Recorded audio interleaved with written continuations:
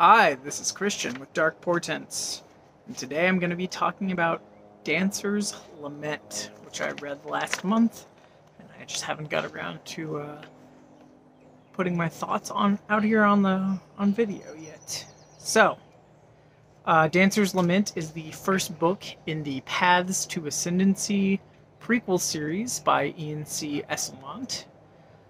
Um, it's a prequel to the novels of the Malazan Empire and the Malazan Book of the Fallen.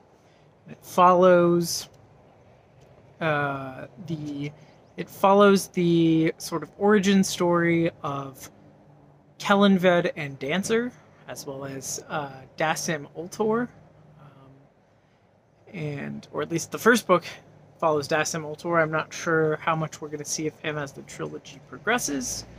Uh, but definitely, it seems like the main characters of the Paths to Ascendancy are Kellanved and Dancer. And we get to meet Dancer before he uh, has his name.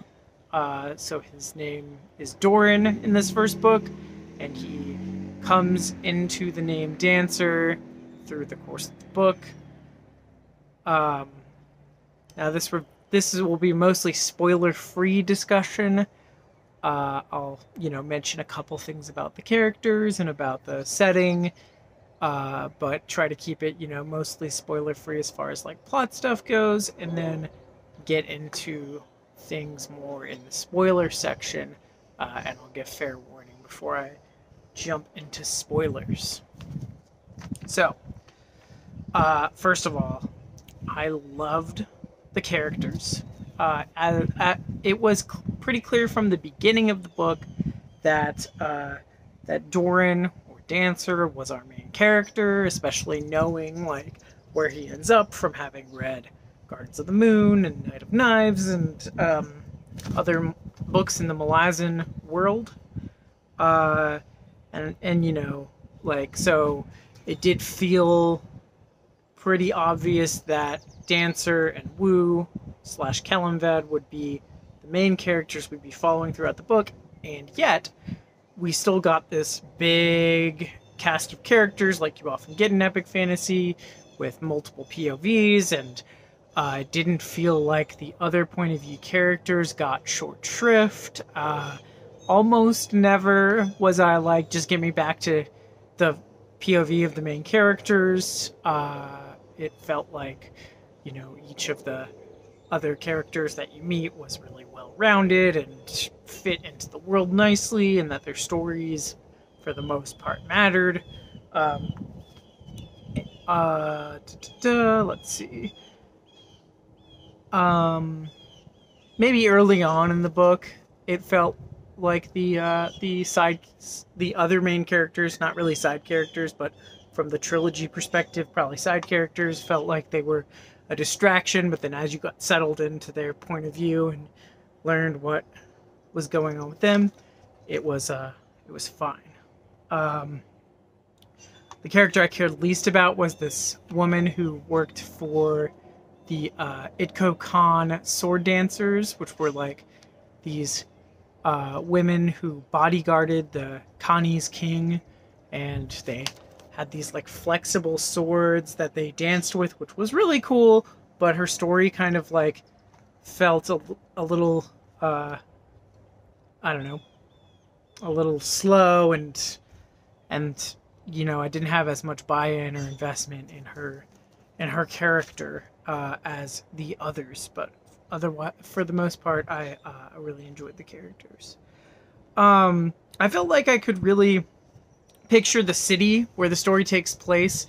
Uh, the city take or the city that the that Dancer's Lament takes place in is uh, Li Heng, and they did a really good job of like establishing like the flavor of the city, both in terms of like the like court intrigue and the palace and the like upper echelons of power, and in terms of like the criminal underworld, and in terms of like the military situation of Li Heng uh, which uh, comes under siege throughout the course of the book. And uh, that's not really a spoiler, it's pretty well established early on that that's going to happen. Um, and uh, you know, much like in Gardens of the Moon with Darujhistan, Li Heng had a uh, had kind of a rooftop nightlife with the thieves and assassins, uh, or at least some of them, having run-ins with each other on the roofs, and that felt really cool and cinematic. Uh, and it was all like really visual and visceral, like watching a film.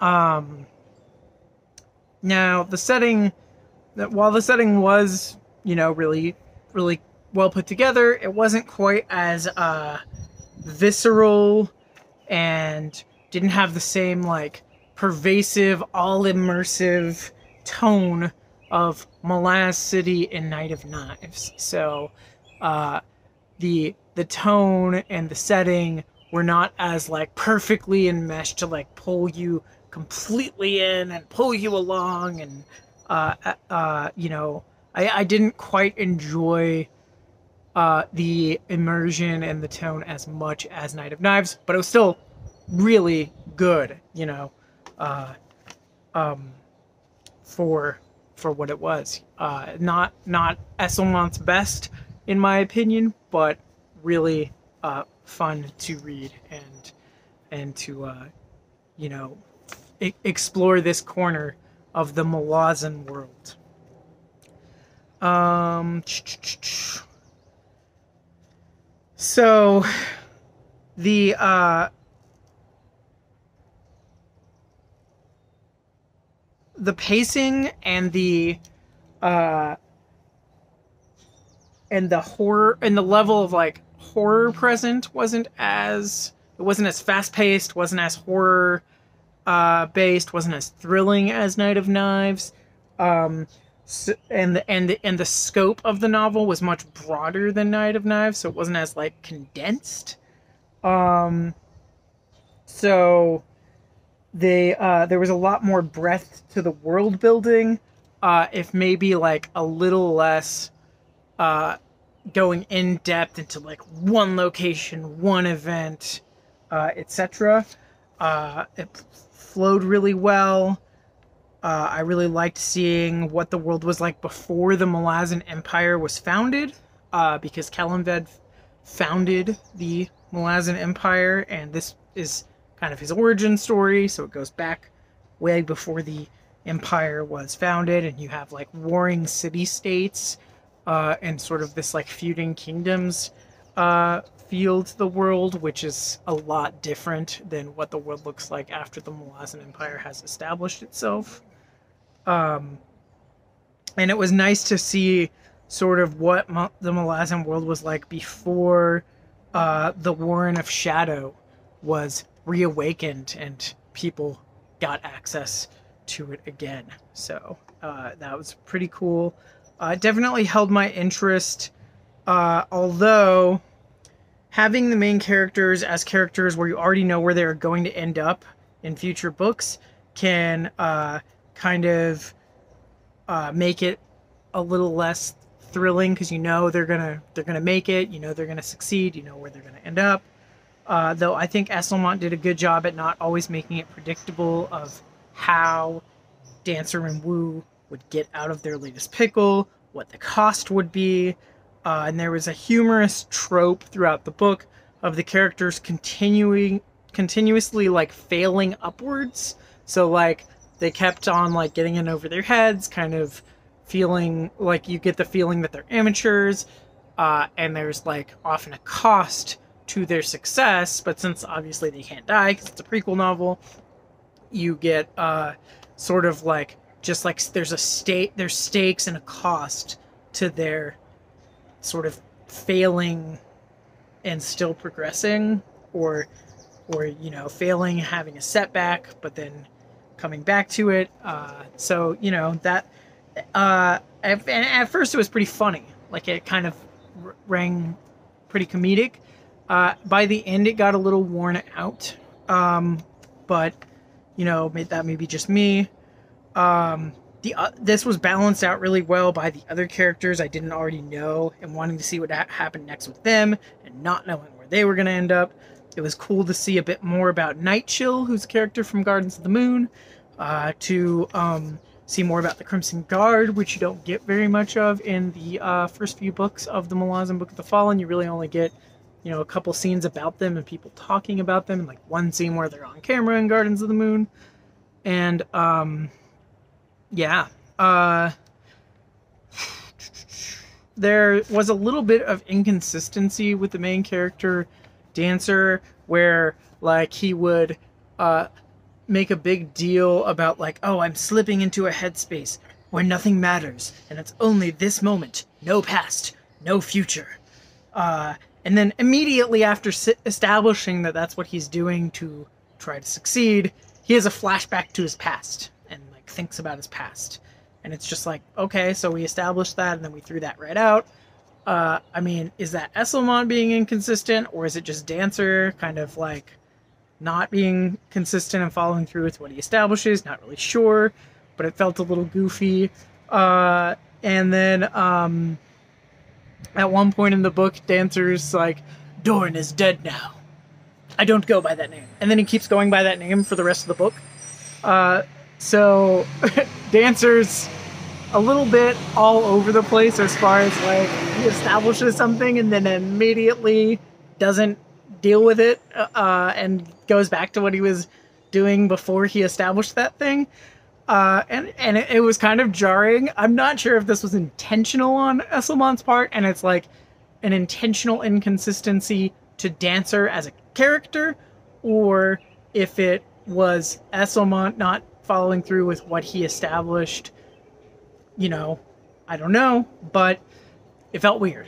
Um, other than those little problems, uh, the book was really cohesive. Everything went really well. There was lots of cool stuff about the Tiste uh, that I didn't know before. There's this really cool creature called the Man Beast Ryllandaras, who like looms really large in the uh, setting of Li Heng, um, and that all fit, fit in really well with like the established world and the lore that I know from the other books. Uh, the relationships between the different factions and between people within the different factions to each other all worked really well.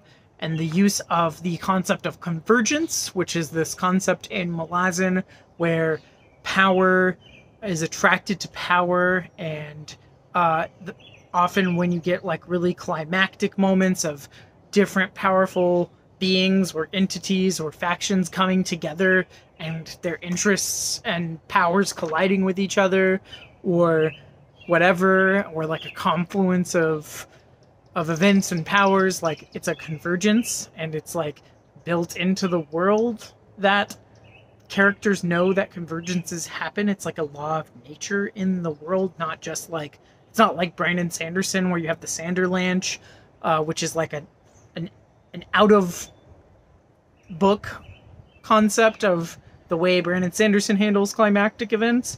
Uh, the convergence is built into the Malazan world, and the way that convergence was handled in this book was really cool, as always.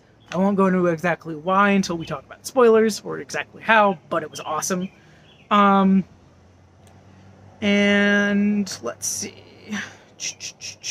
Ultimately, I give the book four stars. It wasn't quite as good as Night of Knives for me, but I really enjoyed it, and I really enjoyed seeing more of the Malazan world, as always. I'm excited to see where the trilogy takes us. I'm excited to reread this book after I've read novels of the Malazan Empire and Malazan Book of the Fallen in their entirety. Uh, and um, who would I recommend this book to? Do not start Malazan here. Don't do it. Uh, start with Gardens of the Moon or Night of Knives, and uh, come back to this when you have a couple of Malazan books under your belt. Uh, if you're going main series after Deadhouse Gates, uh, is a good time to come back to this because a lot it, there's no spoilers for anything up to that point, and you've already kind of like learned enough about Kellanved and Dancer and where they end up going and what they end up doing that it won't spoil any spoil any of that for you. Uh, so if you want, if you're a Malazan reader already and you want to check out uh, like a traditional epic fantasy trilogy that deals with the backstory of Dancer and Kellanved, I would say do it after Deadhouse Gates, or if you're starting with the novels of the Malazan Empire, after Night of Knives would be a fine time to come do this. Uh, yeah. not what I would recommend as like your first entry into the Malazan world, though I guess it would work. I guess it would work. Uh, just not my personal recommendation. All right, now I'm gonna go into spoilers. The Hounds of Shadow tearing shit up in Liheng and in the Itko camp was cool. I always love when the Hounds of Shadow come out and start tearing stuff up. It's great. Uh, the lizard-like creature at what I assume was an Azath house in the Warren of Shadow. That was really interesting, and I want to know what that creature was uh, and what it was doing, climbing up into the, into what I think was a floating Azath house. Uh, I really thought that it was ominous and interesting when the Azathanai, a word I have not heard before, were communicating with Gothos at the beginning of the book, uh, especially if you uh, know where Gothos ends up in Deadhouse Gates. Uh, it's really interesting to wonder at uh, how he goes from being in this situation where he's in communication with the Azathanai and where he's like doing his research like out off by himself in the middle of it Kokon wherever and uh, to that situation at the end of Deadhouse Gates uh, I don't know. I'm excited to find out if that's something we do indeed find out. Uh, and as far as convergences go, the unveiling of Amtos Felek as a way to try to break the siege by the Jaghut that was working for the Kanese king. Oh my gosh. So cool. Such a cool use of the magic system to sort of bypass the military situation, the impasse that had developed militarily between the Kanese and the Liheng. Uh, I really loved it. And then the way that this unveiling of Amtos Felek led to the Seeress doing the uh, ritual of the Tiste Liosan to have the like uh, blinding light, basically a nuclear uh, uh, weapon, just like burn all of these soldiers away and kill hundreds of people. Uh, just it was so cool. And I liked how Esslemont showed how using that kind of destruction and killing to uh, defend the city and, and, and end the siege um, and maim so many people and just cause all this destruction changed the relationship between the Seeress and the citizens of the city from one of being loved by the people to that of being feared by the people. It was really cool. I really liked the uh, relationship between Ryllandaras and the Seeress. I thought that was really cool. Uh, and um, how the how Ryllandaras was like sort of trapped by his love for the Seeress, and had this deal where she would keep the plains clear of uh, of settlements and have you know trade flowing so that Ryllandaras could, I guess, kill people on the road. I don't know uh, and then he protects the city for her and like goes and attacks our enemies for her. Really cool. Uh, really cool seeing like how Kellanved was kind of like just this like amateur like experimenting and not really knowing what he's doing as he's reawakening the Warren of Shadow and seeing like the big players kind of react to this like noob coming in and, and bringing Shadow back into the uh, into the deck of dragons, into the game, although we didn't see it necessarily come into the deck of dragons yet. Like, that's probably where it's going. And, uh, what else? Um, oh, seeing that it's not just Malazan sappers, but all military engineers that are a bit cracked and defiant of authority and so forth. I love the trope in the Malazan world of the wisecracking, slightly crazy, defiant of authority, irreverent military engineers. Uh, I love that about this world, and it was n- a nice touch to uh, get to meet one of the engineers from Liheng and see her irreverence towards uh, the city mage.